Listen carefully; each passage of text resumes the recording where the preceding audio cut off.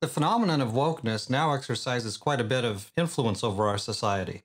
In 2018, Robin DiAngelo published this book, White Fragility, to talk about racism. This very widely distributed book has become a canonical text for the secular worldview. In my own denomination, the Seventh day Adventist Church, one church administrator actually put this book on the number one slot for suggested reading list for uh, racial equality and so on. Sadly, no recommendation could have been less helpful than that one. This book, pseudoscience and weird theories can only worsen race relations. This book teaches that racism is inevitable, that our society is uh, interlaced with all these deeply interwoven structures which support and systematize and reinforce racism, that this system is designed to oppress black people and make white people supreme. DiAngelo's book teaches that treating people according to the content of their character rather than their skin color is racism. I, I really said that. That's what it teaches. It teaches that America from the beginning was a racist nation and that Christian missionary work is actually uh, an exporting white supremacy all over the planet. This is what she teaches in this book is white fragility. White fragility is the state in which even a minimum amount of racial stress in the habitus becomes intolerable, triggering a range of defensive moves, she means in white people, these moves include the outward display of emotions such as anger, fear, and guilt, and behaviors such as argumentation, silence, and leaving the stress inducing situation. These behaviors in turn reinstate white racial equilibrium. Now, in practice, the charge of white fragility is used to coerce white people into agreement with the tenets of what's called critical race theory. Basically, the author says that if you're white, you're racist, and that if you disagree, that is an indicator that you're racist. Now, it's also understood here in this book that talking wrong about racism is racist. And of course, not talking about it at all is racist because silence is violence. This leaves only the option of, of being manipulated into accepting the position on critical race theory that DiAngelo wants you to uh, accept. Now, this book is directly contradicted both by Christianity and by science, and I want to talk about uh, just four areas. The first concern I want to address is that the author admits that this book is steeped in ideology, politics, and critical race theory. I mean, she admits it right up front. DiAngelo asserts that all the gains that have been made in uh, racial improvements have come from identity politics, which of course is false. She admits that her book is, quote, unapologetically rooted in identity politics. But now, if you think that her book is continuing the work of Dr. Martin Luther King from the 1960s, you're mistaken. You should understand that the movement she represents specifically rejects this idea of color blindness, of judging people on the content of their character rather than their skin color. She's explicitly against that. James Lindsay, who wrote Cynical Theories, uh, states this explicitly about this. He says that DiAngelo's approach disguises the fact that the term, the term identity politics, arose in explicit rejection of the means and methods of the movement that it claims to espouse. In fact, several pages of this book are devoted to undermining Martin Luther King's viewpoint on this point. You can check the notes at the end here. You'll see all the references, all the page numbers. Do you remember King's famous speech? Here it is. I have a dream. My poor little children will one day live in a nation where they will not be judged by the color of their skin, but by the content of their character. I have a dream today. Now, DiAngelo explicitly teaches that the, that viewpoint espoused by Martin Luther King, she calls it racism. And she faults those who embrace colorblindness. She says they're enacting racism in a way that allows them to maintain a positive self image. Now, as you can see, the book's foreword is written by uh, this fella, Dyson. He's a widely known critical race theory scholar. The book quotes from critical race theory scholars and supporters, a long list of them. Here are some of their names. Ta-Nehisi Coates, Ibram Kendi, J. Kēhaulani Kauanui, Marilyn Frye, David Wellman, Cheryl Harris, Charles W. Mills, Joe Feagin, Martin Bark, Eduardo Bonilla-Silva, Toni Morrison, Christine Sleeter, Zeus Leonardo, Amy Stuart, Wells, Resmaa Menakem, Carol Anderson, Michelle Fine, and Kimberlé Crenshaw. And there's more in the recommended reading in the back I haven't even listed. Now, James Lindsay has a website called newdiscourses.com, and he's got in there the social justice encyclopedia he's put together. And it's really a remarkable uh, thing that he's building there. And the entry that he has there in critical race theory almost exactly summarizes this book. Here's what Lindsay says Critical race theory is centrally concerned with power, which it holds in higher regard than truth. Indeed, it holds the postmodernist position that claims to truth or assertions of power by specific means. Second, it distinguishes itself from traditional civil rights and instead favors identity politics in the radical sense. Third, it is not interested in progress but revolution. Fourth, it calls into question the very foundations of the liberal order including equality theory, legal reasoning, enlightenment rationalism, and neutral principles of constitutional law. Unquote.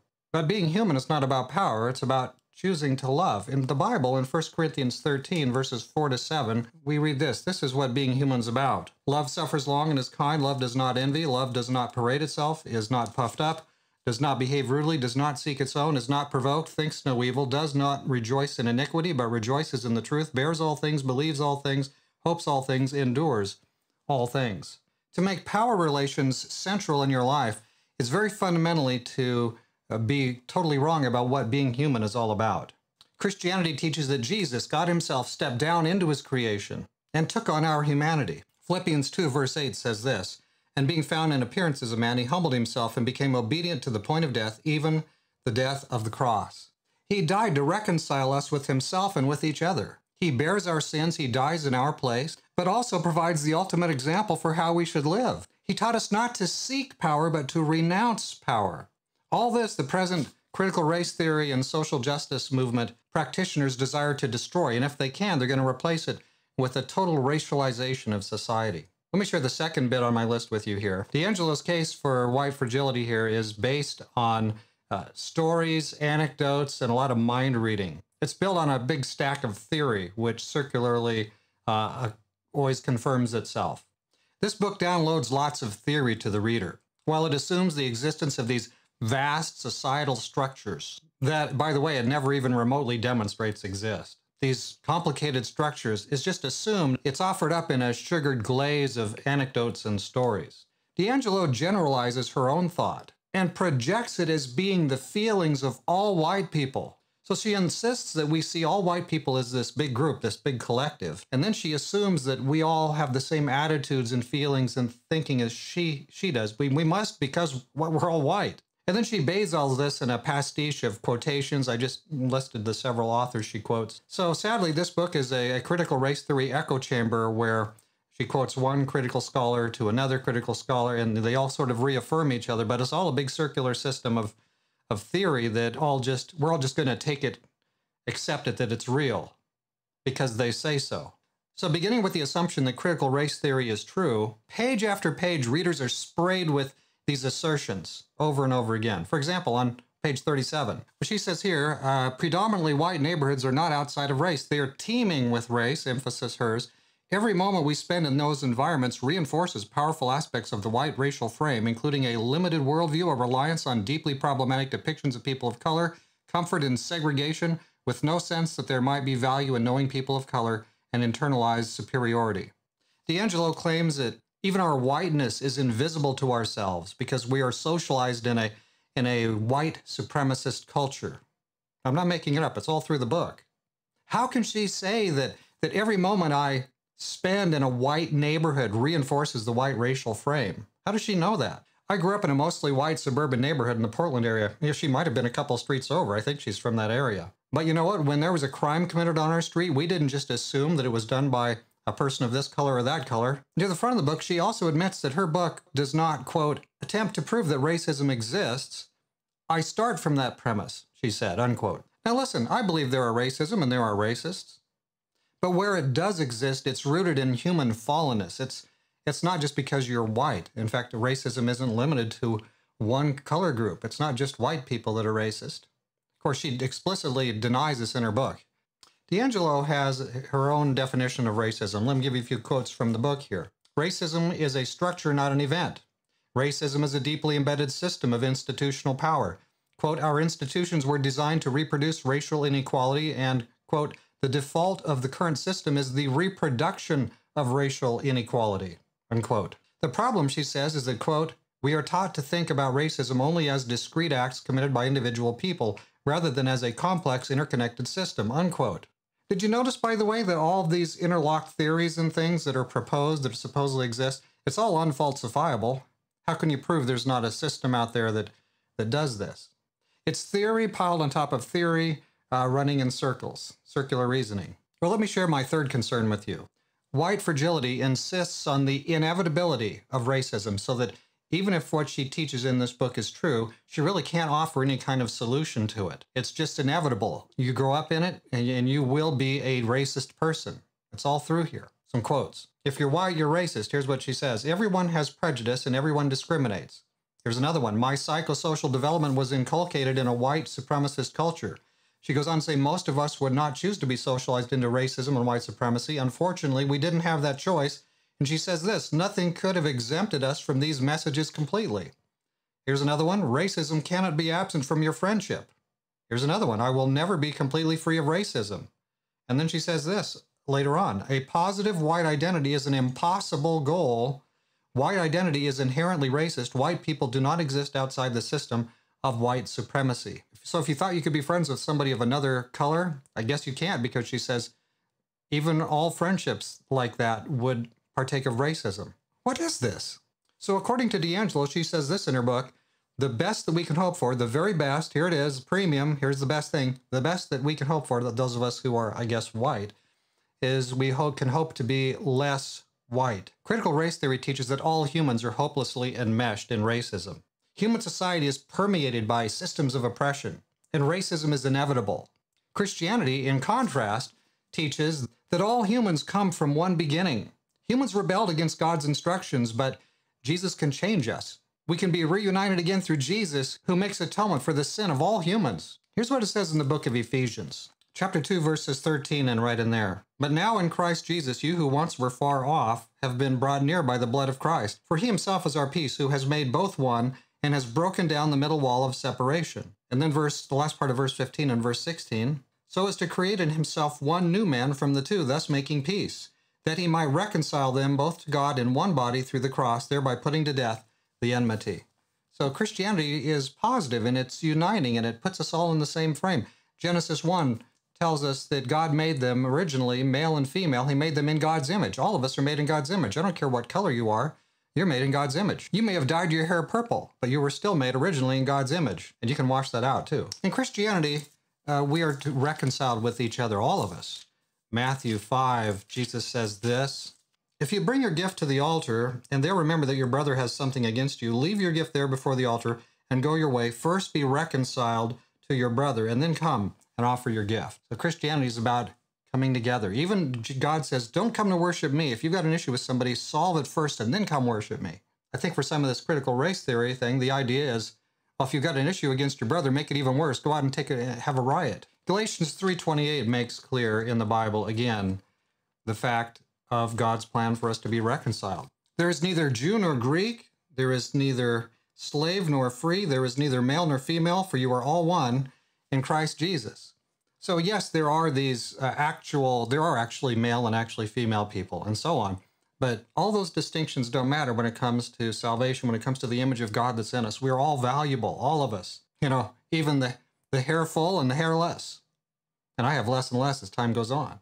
Christianity at its very core is very positive and uniting religion because it sees us, Acts 17 tells us, verse 26, that he has made from one blood every nation of men to dwell on the face of the earth. In contrast, critical race theory seems to intentionally divide us.